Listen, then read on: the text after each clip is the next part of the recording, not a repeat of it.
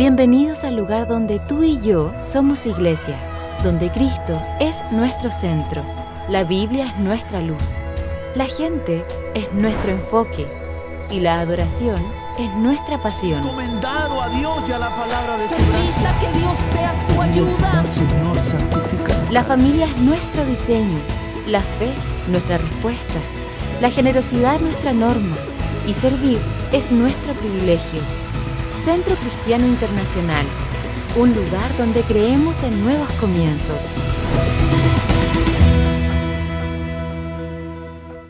Muy bien, quiero poder compartir y, conversar una, una temática que el Señor me habló fuertemente en mi corazón y que podamos conversar eh, a la luz de la palabra del Señor algunos aspectos de, de la, de, la, de, la, vida cristiana o cosas, aristas que nos que son muy pertinentes en nuestra caminar como, como hijos de Dios o que hemos conocido a Dios. Y sin tomas notas o apuntes, he llamado a este mensaje la oportunidad del que no tiene oportunidad. La oportunidad del que tal vez no se la merece. ¿Saben qué? La oportunidad del sentenciado. La oportunidad de alguien que está, digámoslo así, en la cuerda floja para ser eh, eh, sentenciado. La oportunidad del, del sentenciado. Y me gustaría poder introducir este mensaje de la siguiente manera. Cuidado. Warning, si podría poner una alarma aquí roja, cuidado. Puede que nuestro corazón en alguna área de nuestra vida se esté oxidando. ¿Y por qué lo dices eso, Felipe? Eh, eh, En este tiempo que, que estamos en la pandemia o saliendo de lo más fuerte, de lo crudo, de lo que fue, eh, esperando que- que no vuelva a ocurrir porque el Señor puede hablar, mandar la voz y se acaba esta pandemia. Pero he hablado con algunos líderes o encargados de algunas áreas de la iglesia, eh, eh, y no me refiero precisamente a esta, sino que amigos de otro, y me dicen, no sé qué está pasando, pero, pero veo que la gente eh, no está, por ejemplo, levantando tanto su voz en medio de la adoración. Cuando son las actividades virtuales se conecta al Zoom, pero deja la cámara apagada y solamente que habla y no presta atención ha dejado muchas veces de ser generosas. Las personas han dejado de tener un corazón compasivo con los demás y están llevando una vida cristiana hipersensibilizada. Y de alguna manera hay algo en nuestra espiritualidad que a lo largo de esta pandemia que inició en el 18 de marzo del 2020, del 2020 hay algo que esta pandemia a lo largo, eh, eh, eh, espiritualmente en nosotros, algo se ha oxidado. Algo no ha estado en movimiento. Y cuando quieres volver al movimiento y tomar movimiento, hay que forzar un poco a aquello que se ha oxidado. Y eso es bíblico, porque la Biblia dice que forzaos a entrar por la puerta. Forzaos a entrar por la puerta. Y si nuestro corazón se ha oxidado en cuestiones como por ejemplo la adoración, la palabra, la búsqueda, la compasión, los cánticos, la misericordia, la pureza, tenemos que forzar nuestro corazón. Tenemos que forzar, volver a dar movimiento, quitar el óxido para que nuestro corazón, para que nuestra vida cristiana vuelva a latir con aquellos principios que un día latieron en nuestra vida. Y cuando nuestros pastores o nuestros líderes o los que están encima de nuestra plataforma nos invitan a la búsqueda de Dios, decir levanten sus manos, eh, vamos a orar mañana a las 6 de la mañana. Qué locura orar a las 6 de la mañana. O cuando te dicen guarda tu vida en santidad o, o- levanta tu voz por encima del resto. No están haciendo de este movimiento, de esta organización que sea más grande o un espectáculo. ¿Sabe lo que están haciendo? Están dando herramientas para una sobrevivencia espiritual, para una realidad del cielo en tu vida. Felipe, ¿qué me quiere decir con todo esto? ¿Sabes qué? No podemos vivir nuestra vida espiritual a medias. No podemos vivir nuestra vida espiritual, nuestra vida con Dios a media. Un día sí, un día no, una semana sí, otra semana no, una noche sí, otra noche no. No podemos vivir a medias. Este es el tiempo, amada iglesia, para volver a encendernos del fuego del Espíritu Santo y vivir este Evangelio de una forma radical que impacte al mundo con la palabra de Dios, con el Evangelio precioso de Cristo. Mi mensaje no es fatalista, mi mensaje es todo lo contrario, es esperanzador. Decirte que no lleves, que no te dejes llevar por las corrientes de este mundo, sino que déjate llevar por el Espíritu Santo de Dios, por la palabra, por la doctrina. ¿Saben qué? Hoy las tinieblas quieren traer un movimiento a los hijos de Dios llamado la frialdad espiritual llamada la hipotermia espiritual. Y se cumple la palabra de Dios que dice que en el final de los tiempos el amor de muchos se iba a enfriar. ¿Cuántos han leído eso en la palabra del Señor? Se iba a enfriar. Hoy las tinieblas, el sistema, el mundo, llámalo como quieras, Babilonia o lo que te opone a los planes de Dios, quiere cuestionar muchas cosas de nuestro modo de vida, de vivir nuestra fe cristiana. Nos dicen retrógrado, nos dicen... Eh, eh, eh, qué sé yo, que éramos de otro tiempo, cuando decimos que creemos en el matrimonio entre un hombre y una mujer, cuando decimos creer que no creemos en el aborto, cuando decimos creer tantas cosas que están en la Biblia, pero cuando levantamos nuestra voz se oponen y son cuestionamientos. ¿Saben qué? Es un plan de las tinieblas. Amada iglesia, necesitamos profundizar, echar raíces en Dios, en la palabra, para que cuando vengan los vientos contrarios a desequilibrar, desequilibrar nuestra vida, tus raíces sean tan profundas, tan grandes, tan firmes, que puede que te toquen algo, pero no te podrán hacer leña ni árbol cortado si tus raíces son profundas en Dios, déjame decirte que vas a permanecer hasta el final. Y dice la Biblia, el que persevera hasta el final, ese será salvo. Y cuando hablo de raíces y cuando habla la Biblia de raíces, me estoy refiriendo a la palabra, a la búsqueda, a tu tiempo con Dios. Si en esta radiografía espiritual que te acabo de comentar sientes que no va contigo porque estás bien en todas las áreas de tu vida y no hay asuntos pendientes, ¿sabes lo que te quiero decir? Felicitaciones y sigue así. Pero si esta radiografía express que te acabo de comentar piensas en algunas cosas que están pendientes en tu vida, cosas que tienes que resolver aún, vengo a decirte que hay una oportunidad y que si te sientes sentenciado a una guillotina espiritual, si lo podemos decir así, porque no ves salida, vengo a decirte que hay una oportunidad para ti. Y a esto le llamo la oportunidad del sentenciado, la oportunidad del que cree que no tiene nada para vivir, la oportunidad que cree que ya no hay posibilidades para recuperar el matrimonio.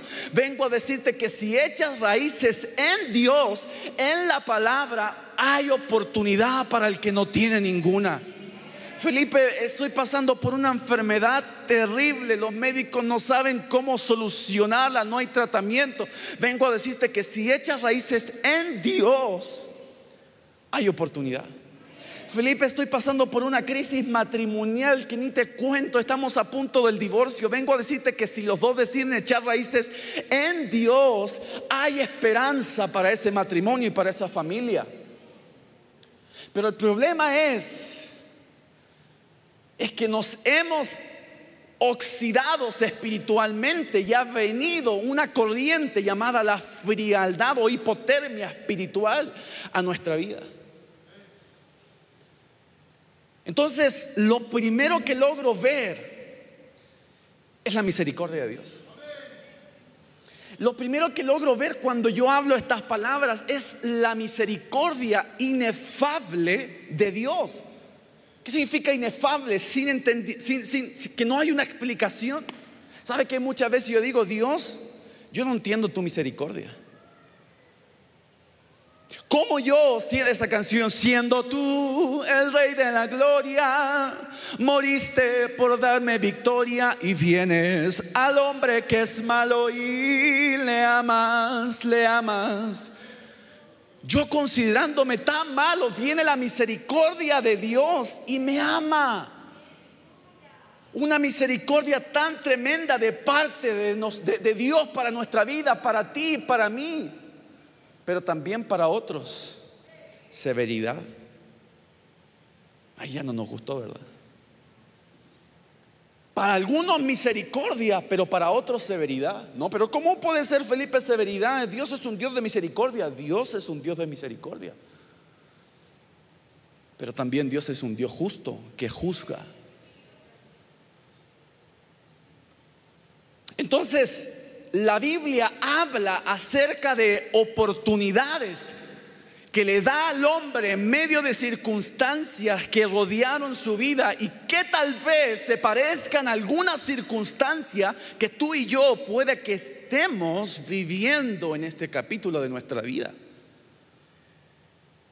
Pero también habla de hombres que fueron sentenciados y a causa de sus malas decisiones no hubo misericordia.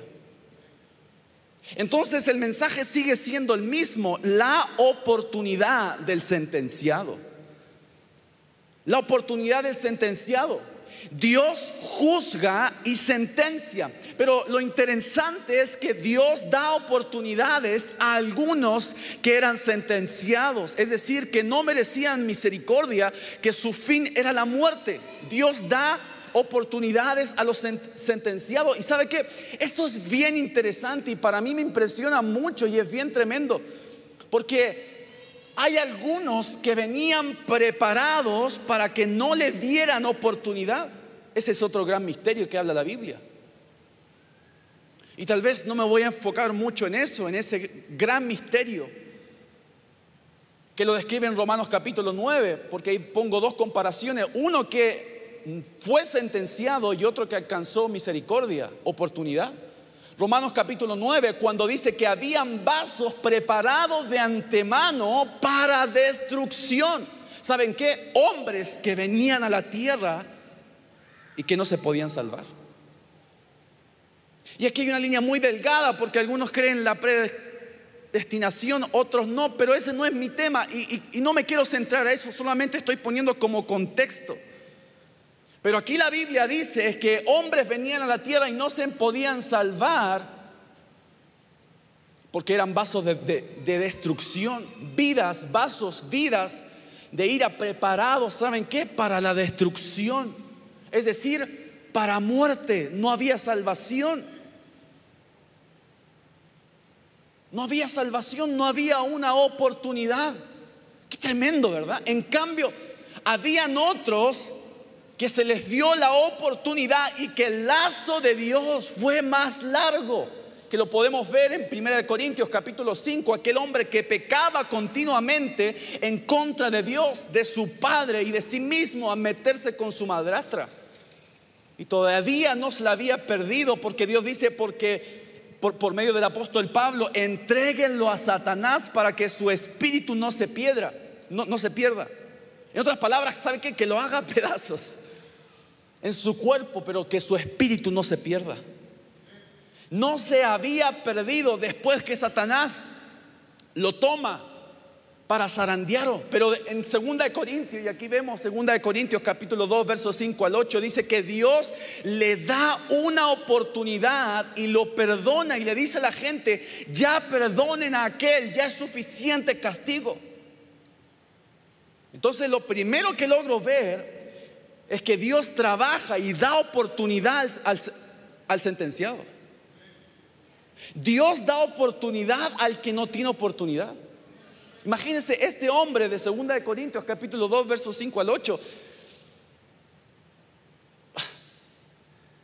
Naturalmente no tenía un perdón. Naturalmente, imagínense lo que había hecho. Había fallado su padre, eh, le, había fallado a Dios, a sí mismo. Pero Dios dice, le voy a dar una oportunidad. En cambio, la Biblia también menciona de hombres, de vasos de ira preparados para destrucción. Entonces, nosotros como hijos de Dios, nuestra vida espiritual, debiésemos hacer un análisis espiritual de cómo estamos nosotros, qué asuntos pendientes tenemos que resolver, qué cosas están eh, eh, dándonos vuelta, que no están a cuentas con Dios para que cuando nos presentemos delante de Él seamos hallados dignos. Y quiero poder darte dos ejemplos que habla la Biblia acerca de hombres que, que en medio de sus vidas ganaron una oportunidad o la perdieron. Tomar una oportunidad a causa de sus malas decisiones de alejarse de Dios o la ganaron. Y quiero que vaya conmigo al libro de Daniel capítulo 5, verso 27. Y antes de leer aquí en este versículo vemos una historia muy conocida. Dice la Biblia, Tequel ha sido pesado, ha sido pesado en la alabanza, en la, perdón, en la balanza y hallado falto de peso. Ha sido pesado en la balanza y hallado falto de peso. Esta es la Biblia de, las Américas. Y aquí en este versículo vemos aquella mano de aquel hombre que está librando, libando los vasos sagrados del Señor y está libando, ¿saben qué? Con sus concubinas estaba fallando al Señor, estaba eh, eh, eh, levantando un aroma de pecado al Señor, blasfemando el nombre de Dios. ¿Saben qué? Balsasar era su nombre. Este Balsasar era hijo de Nabucodonosor. Nieto de Nabucodonosor, perdón, nieto de Nabucodonosor. Entonces sale una mano y escribe en la pared, Mene, Mene, Tekel, Uparsi. No, no, sé si se recuerda de esa historia. Mene, Mene, Tekel, Uparsi. Y nadie lo podía leer. Y dice que el rey temblaba de una manera, porque imagínense una mano que en medio sale y escribe, Mene, Mene, Tekel, Uparsi. Usted sabe que le está fallando a Dios y sale ahí un, un, escrito y no lo entiende. Y este hombre temblaba, sus rodillas se pegaban una contra la otra esa magnitud fue la experiencia que tuvo. Y cuando llaman al, al, intérprete, que era Daniel, que era el enviado de Dios, y ve la palabra tequel, la que acabamos, la que estamos viendo ahí, tequel, ¿sabe lo que dice él? Ya fuiste pesado y ya fuiste hallado falto. ¿Se imaginan la, la experiencia que vive este hombre? Pongámosla en nuestra vida, apliquémosla a nosotros. Estamos fallando a Dios, sabemos que le estamos fallando a Dios. Y viene alguien y lo vemos. Ay, qué loco, eso nunca va a pasar. Y si pasara ese tequel, ya fuiste pesado. O sea, ya fuiste, ya, ya pasó. Y hallado falto. Y viene una sentencia, le dice Daniel, hoy quitan, te quitan del reino tu mano. Y esa sentencia, ¿sabe qué? Se cumplió. Porque esa misma noche ese rey dejó de ser rey. ¿Saben por qué? Porque murió. Ahora, ese sería el tipo de personas que vemos en la Biblia que no son perdonados. No son perdonados porque Daniel le habla y dice, ha sido pesado la balanza y hallado falto de peso. Entonces, yo veo que hay algunos que son hallados faltos, como a Belsasar, que fue hallado falto de peso. Y no me refiero al peso, estatura, de, cuánto peso, 58, 68, 90. ¿Sabe qué? Falta de peso de gloria.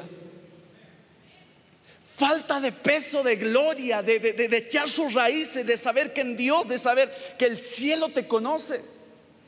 ¿Saben quiénes son estos los que habla la Biblia que dice apartados de mí, hacedores de maldad? No los conozco. ¿Sabe? Cuando yo digo ese versículo tiemblo por dentro porque yo no quiero llegar ante Él y que me diga apartados de mí, nunca te conocí. No, Señor, si yo iba a la iglesia. No, Señor, si yo levantaba mis manos, apartados de mí, hacedores de maldad. Si alguien no tiembla con esa que habla la Biblia, que habla la palabra de Dios, debe hacerse un análisis y decir, algo está mal, algo está mal en mi vida. Algo tiene que cambiar.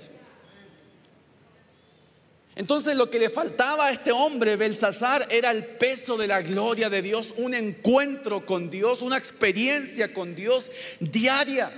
Entonces miramos en la Biblia que a nosotros nos van a medir. Te van a medir nuestra estatura, ¿sabe qué? Espiritual. Van a medir tu estatura y tu peso espiritual. Algunos dirán, entonces me salvé porque estaba medio gordito, menos mal que era espiritual no era natural. Pero nos van a medir. Van a medir de qué estamos hechos, cómo trabajamos en nuestra vida. ¿Qué, cosas hicimos aquí en nuestra vida que repercuten en nuestra eternidad?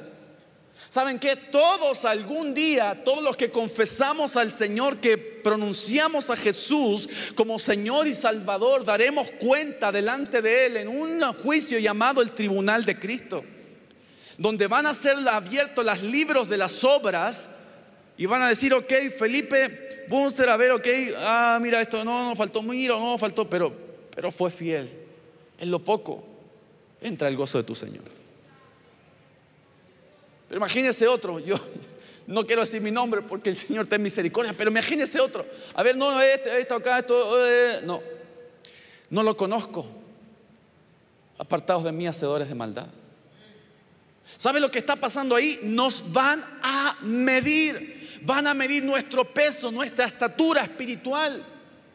El apóstol Juan mira en Apocalipsis 11 que hay un personaje al que le dan una vara para medir y mide el, santuario, mide el templo, pero sabe que mide, sabe que mide también los que le adoran. O sea, no solo miden el templo, no solo miden el santuario, miden a los que le adoran, a los que van a adorar en ese templo.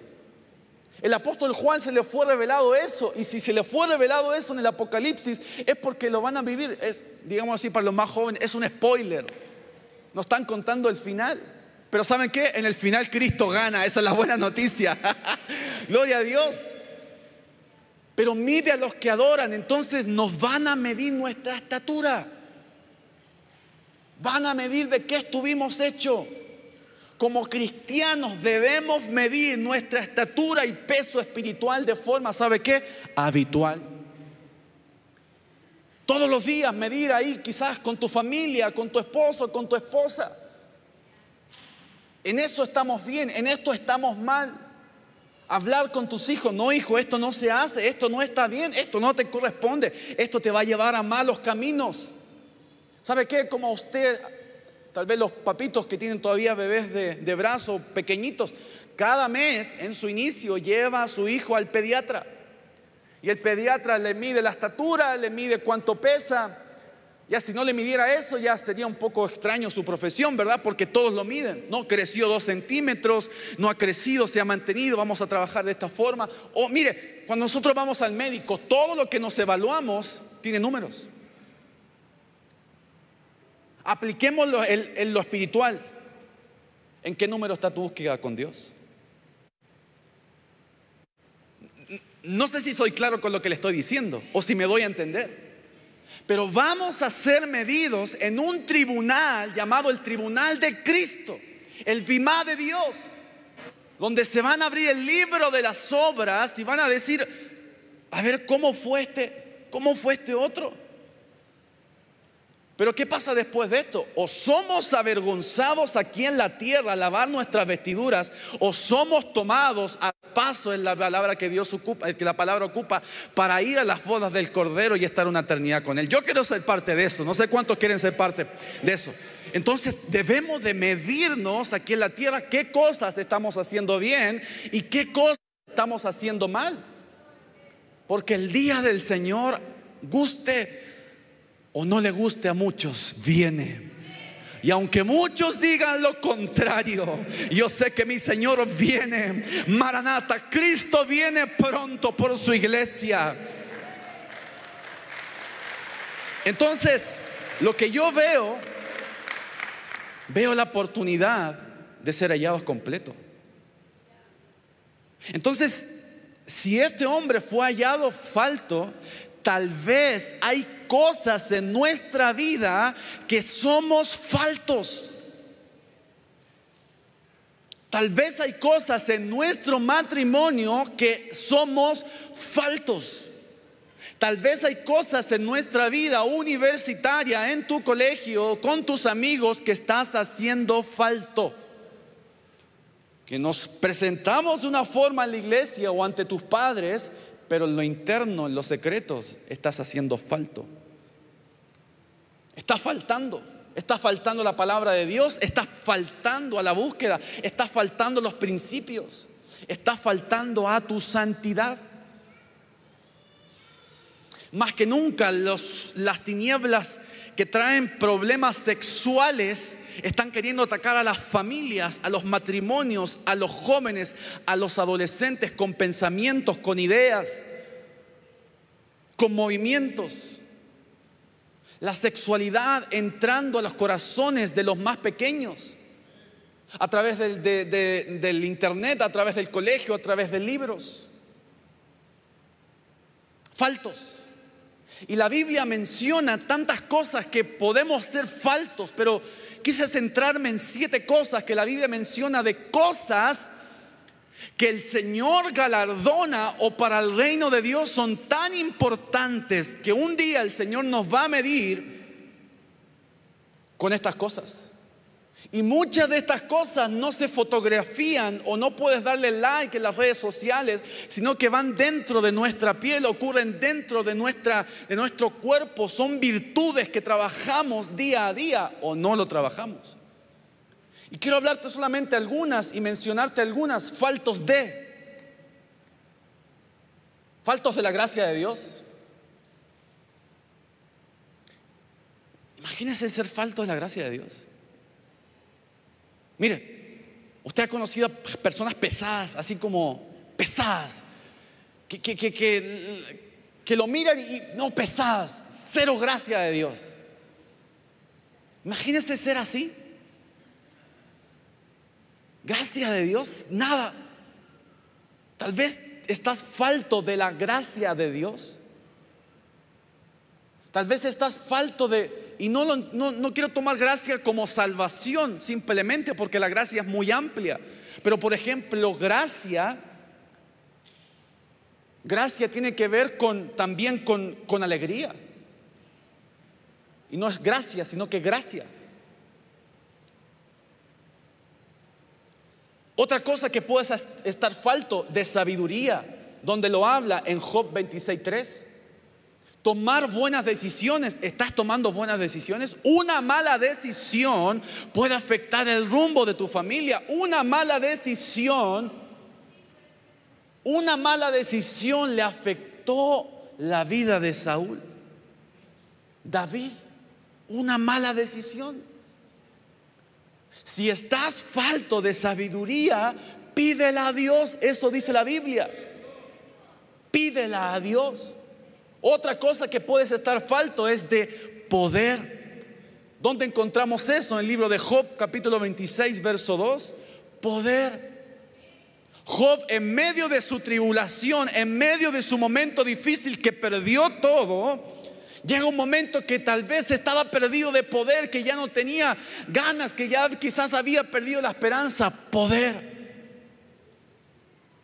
Y no hablo de ese poder de tener adquisiciones o, riquezas, aunque podría ser una falta. Falta de bendición. ¿Por qué no decirlo también? Falta de pureza. Falta de pureza. Tal vez hay falta de santidad en tu vida, tal vez hay falta de santidad y paz en tu corazón, en tu hogar. Tal vez hay falta de santidad y paz en tu casa. Padres, tal vez solamente te fijas en lo que tú vives, pero no te involucras en las cosas de tu hijo, de tu hija. ¿Qué están viendo? ¿Qué están escuchando? Te haces parte de, de, de tal vez de lo que ellos viven o lo que ellos piensan. Si a ellos les gusta la música, tal vez el reggaetón o, la, música que no habla muchas cosas lindas de Dios, te involucras en eso. Y ya no, ya no, ya no hay una diferencia. Pureza. Jóvenes, pureza. Pureza en tus manos, pureza en tus ojos, pureza en tu corazón, pureza en tus obras, pureza en lo que haces, pureza en, tu, en, en, tus relaciones sentimentales, pureza en tus relaciones con tus compañeros, pureza en lo que hablas, pureza en lo que escuchas. ¿Sabe qué? La Biblia habla, eh, eh, y perdón, ¿dónde encontramos pureza? En el libro de Efesios capítulo 5, verso 27. Y solamente para, el, el Señor pone esto a mi corazón, ¿sabe qué? En, ese versículo, Efesios capítulo 5, verso 27, dice una, una versión del código real, dice, a fin de presentársela a sí mismo, hablando acerca de la iglesia, una comunidad gloriosa que no tuviese mancha ni arruga ni cosas semejantes, sino que fuese pura y sin mancha. ¿Sabe lo que en otras palabras lo que está diciendo la Biblia es que está hablando a fin de presentar a la iglesia. Aquí se traduce comunidad gloriosa, pero la, palabra comunidad es eclesía, iglesia. Entonces dice, a fin de presentársela a sí mismo, Jesús se presenta a la iglesia a sí mismo, que no tuviese mancha ni arruga ni cosas semejantes, sino que fuera pura. Entonces, abro un, un paréntesis. ¿Será que la iglesia gloriosa es la que tiene más personas? ¿Será que la comunidad gloriosa que habla aquí, que se va a presentar ante el Señor, es la que tiene más luces? ¿Es la que tiene canales de televisión? ¿Es la que tiene radio? ¿Es la que tiene eh, eh, iglesias en todo el mundo? Yo veo aquí en la Biblia que el Señor habla que se va a presentar una iglesia gloriosa, ¿saben qué? A una iglesia que es pura. A una iglesia que es pura. Y yo bendigo gracias al Señor porque nos ha dado los medios. Yo no estoy diciendo en contra de nada de eso porque al final dice, oh, está hablando, el hijo del pastor está hablando en contra. En contra de los medios y evangeliza. No, no, no, hermano. ¿Sabes lo que estoy diciendo? Es que Jesús dice que una iglesia gloriosa es aquella que vive en pureza. Una iglesia gloriosa no lo determina la cantidad. Una iglesia gloriosa no lo determina las luces. Una iglesia no lo determina cuánta gente venga a un lugar y sea lleno o no sea lleno. Una iglesia gloriosa lo determina cuánta, cuántas personas que van a la iglesia viven en pureza, viven en santidad, sin manchas, sin arrugas. Porque un día el Señor vendrá por nosotros en las nubes y daremos cuenta de ello y se abrirán los libros y verán tú fuiste una iglesia gloriosa ¿Saben por qué? Porque te guardaste en el tiempo de la tribulación. Viviste en santidad. No te corrompiste con el mundo ni con el sistema de Babilonia. Tus ojos fueron guardados. Una iglesia gloriosa, una comunidad gloriosa que habla en Efesios. Es una iglesia que vive en pureza, en santidad, que sus manos están limpias delante del Cordero y dicen, Señor, día y noche te estoy esperando para que cuando mis ojos sean abiertos a tu realidad y sea despertado en tu eternidad, gloriosa es la que vive en pureza. Pureza. Pureza. Pero tal vez está falto de ella. Tal vez estamos falto de santidad. Cosas que podemos estar faltos, señales, donde lo vemos en el libro de Salmos capítulo 107, verso 40. Señales en tu vida. Señales, respuestas de Dios. El cielo cerrado, no ves nada, señales, nada, nada, nada, nada. La Biblia dice, y estas señales seguirán los que creen en el nombre de Dios. Pero puede que esté falto de pureza, perdón, de señales. ¿Falto de qué? De corazón, de misericordia. Falto de, de, compasión, de corazón, donde lo vemos en el libro de Proverbios capítulo 9, verso 4 al 5. Falto de qué? De fuerza donde lo vemos en 1 de Samuel capítulo 28 verso 20. Tal vez está falto de fuerza, dice, "No, no, yo ya no puedo más." No tengo fuerzas para seguir este evangelio, no tengo fuerzas para, para conducir mi familia, no tengo fuerzas para estudiar, no tengo fuerzas para seguir esta carrera, no tengo fuerzas para, para trabajar, no tengo fuerzas para para buscar de Dios. No tengo fuerzas para seguir los sueños de que Dios puso en mi vida. No tengo fuerzas, se me acabaron. Pero hoy Dios viene a depositar fuerza en tu vida en el nombre de Jesús. Levante su mano al cielo y diga conmigo, diga el débil, fuerte soy. Está recibiendo fuerza. ¿Cómo todo? Bueno, algo habrá Dios. ¿No saben qué? Está diciendo la palabra de Dios. Y en esa palabra hay poder. Si está falso de fuerza, pídesela a Dios. Pídesela. Señor, estoy falto de fuerzas. Son siete cosas, pero tal vez está falto de, de, temor de Dios. Tal vez está falto de servicio. No quieres servir a Dios, quieres venir nomás a la iglesia. Falto de servicio. Tal vez está falto de, de, de misericordia. Faltos.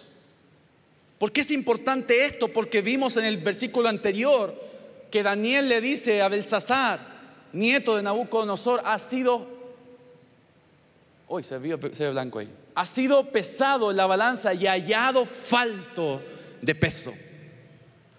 Falto. Y no alcanzó oportunidad, porque esa misma noche ese rey se murió.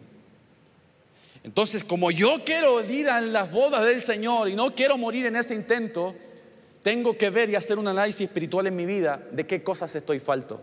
¿Va siguiendo conmigo la historia o no? ¿Le hace sentido lo que le estoy diciendo? ¿Le está ayudando? Muy bien. Otra actividad, otra forma. Gracias.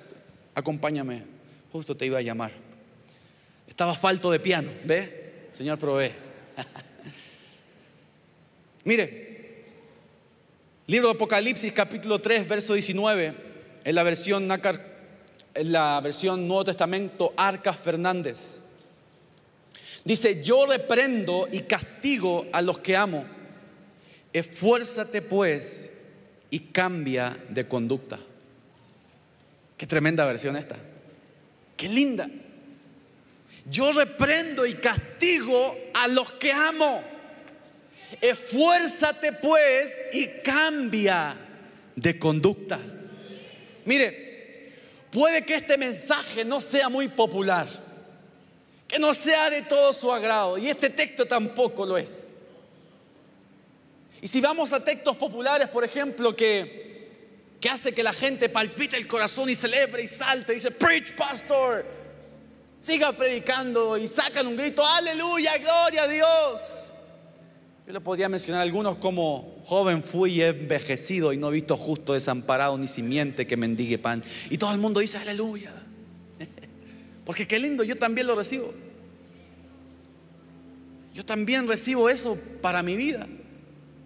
Pero cuando se dice la Biblia que el que es reprendido endurece la cerviz, de repente será quebrantado y no habrá para él medicina. Seguramente, seguramente no es lo más lindo. Y no es el mensaje popular que quisiéramos escuchar. Seguramente alguno dice, no, ese, ese versículo es para, para mi vecina. Qué bueno que no vino mi vecina. Para otro que no conocía al Señor. Imagínense eso. El que es reprendido endurece la cerviz, de repente será quebrantado y no habrá para él medicina. Entonces, aquí lo que está hablando en este libro de Apocalipsis, le está hablando a una de las iglesias apocalípticas, a las siete iglesias de Apocalipsis. Entonces, en este tiempo que me queda, yo me quiero basar en estas siete iglesias de Apocalipsis y que vemos una oportunidad. Ya me, ya me, ya me, ya me va a entender por qué. Vez usted dice, pero ¿qué oportunidad hay aquí? No hay nada, ni, ni un sentenciado, nada. Pero espérame un poco, ya lo va a entender. Entonces, me quiero basar en estas siete, en, las siete iglesias de Apocalipsis. Las siete iglesias apocalípticas que le llaman otro.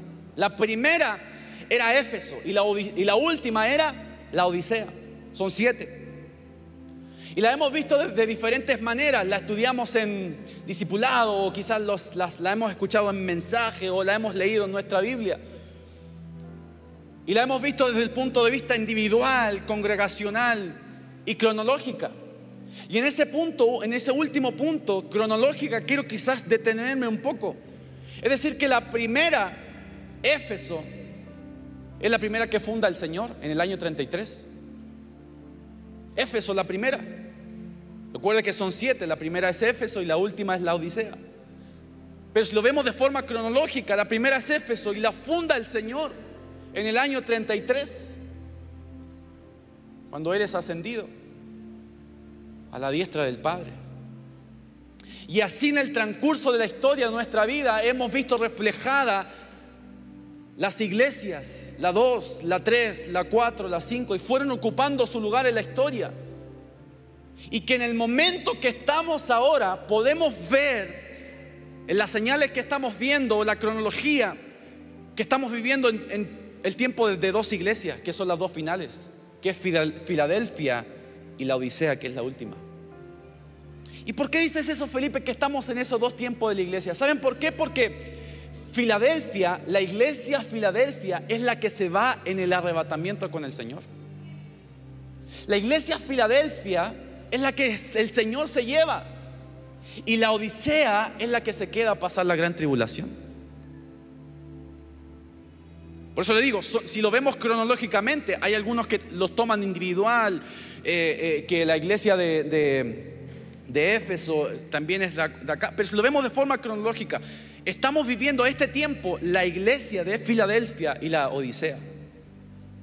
Porque el tiempo, el día del Señor se acerca. Y la que es de Filadelfia se va con el Señor, arrebatada. Se va con el Señor las bodas del Cordero, pero la Odisea se queda la gran tribulación. Entonces, viene Dios y le mete una buena zarandeada a la iglesia de la, Odisea, la que se queda a lavar sus vestiduras. Y quiero dejar bien claro esto. Cuando Dios habla fuerte es porque ama. Cuando Dios habla fuerte en la Biblia, o, o quizás tú dices, no, pero qué raro que Dios haya hablado así, si Dios es misericordioso. ¿Sabe por qué? Porque ama. Y lo peor que le puede pasar es que Dios deje de hablar. Lo peor que nos puede pasar como cristianos, como seres humanos, es que Dios nos deje de hablar. A Saúl le dejó de hablar y le costó la vida. A los hijos de Eli le dejó de hablar y les costó la vida. Al pueblo de Israel le dejó de hablar por 425 años y les costó la expulsión de su propia tierra por más de dos mil años. Lo peor que nos puede pasar a nosotros como hijos de Dios es que la voz de Dios se silencia a nosotros. Porque esa voz, aunque sea para corregir, nos ama. Porque esa voz es el silbido apacible que nos guía, que nos conduce. Es la nube en el desierto, es el fuego para el pueblo de Israel que lo lleva a la tierra prometida. Lo peor que te puede pasar es que Dios te deje de hablar. Por eso es importante decirle todos los días, por favor vuelva a hablarme. Por favor vuelva a quebrantar mi corazón. Por favor vuelva a decirme cuánto me amas. Por favor vuelva a hablarme porque si no me muero. 425 años le costó al pueblo de Israel no escuchar la voz de Dios. Entonces cuando oramos debiésemos decir al Padre, Padre, yo quiero que me hables, aunque sea para corregirme, pero que me hables por favor, porque si no me muero. Háblame, háblame día y noche. Háblame en la mañana, háblame en la tarde. Háblame cuando estoy en el trabajo. Háblame cuando estoy en mi vehículo. Háblame cuando estoy, Señor, en mis tiempos libres. Háblame porque si no muero.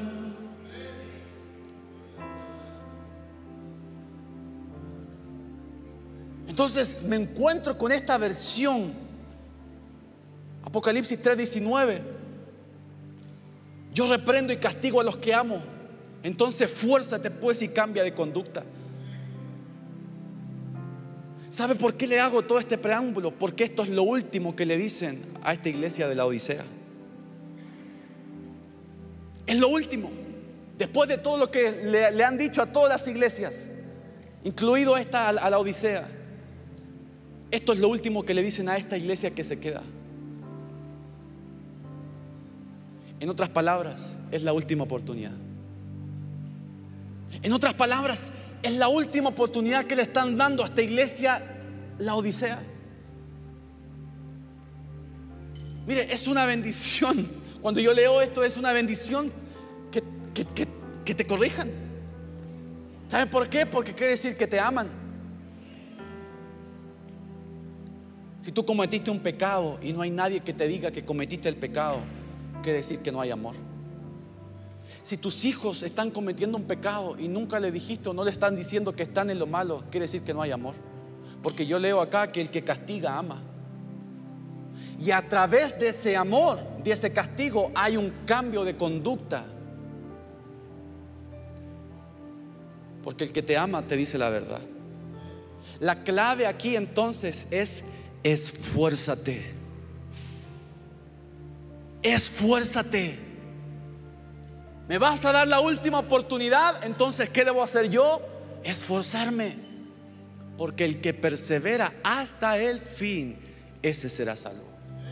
Esfuérzate, esfuérzate y cambia de conducta, esfuérzate y cambia de forma de vivir, esfuérzate y cambia tu forma, tus, tus, tus asuntos pendientes, arréglalos. ¿Saben qué? No sé si cuántos conocen aquí el, jugador de golf, Tiger Woods. No sé cuántos han oído, ¿verdad?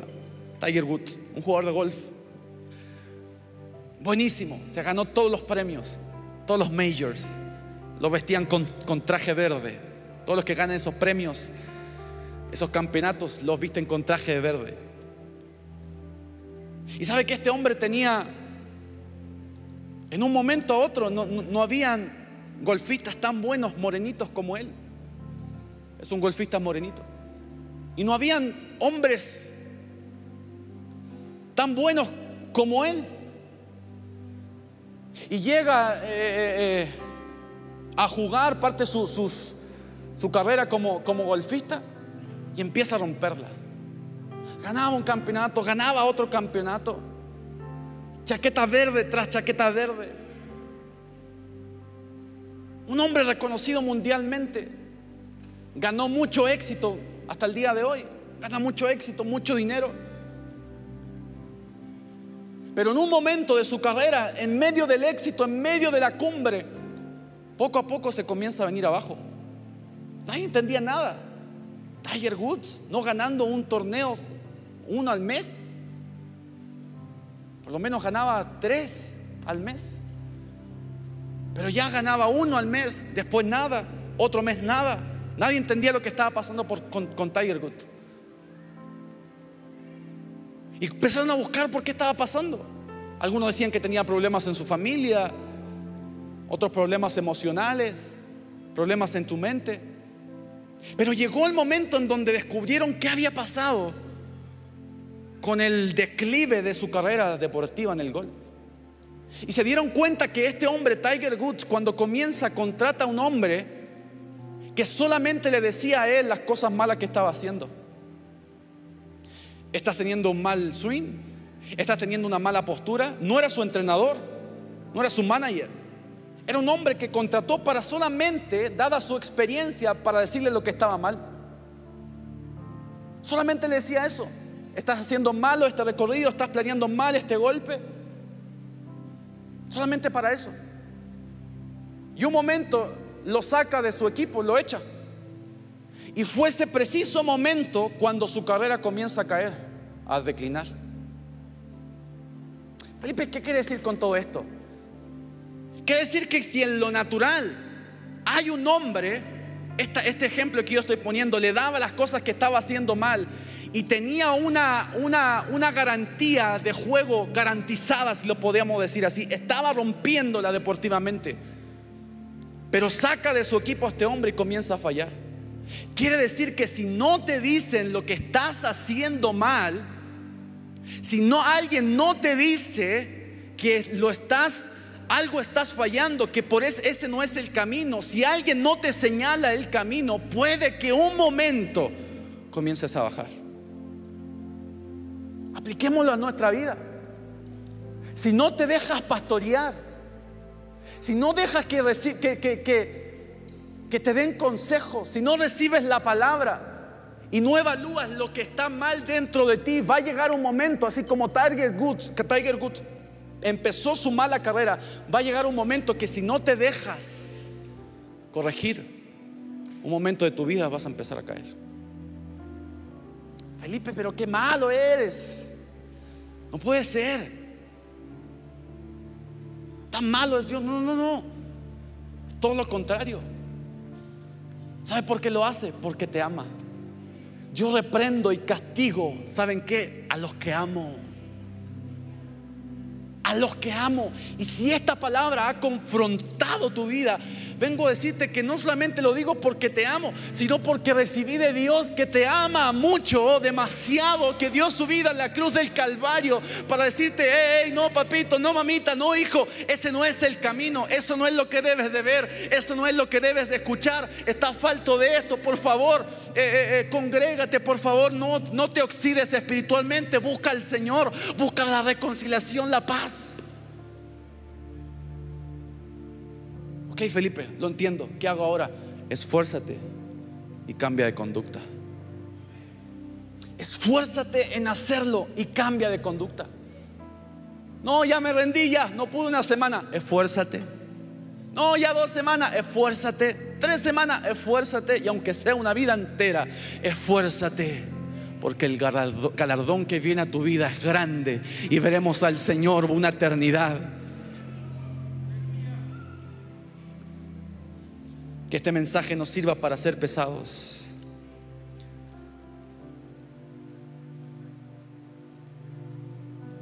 Para ser pesados delante de Él.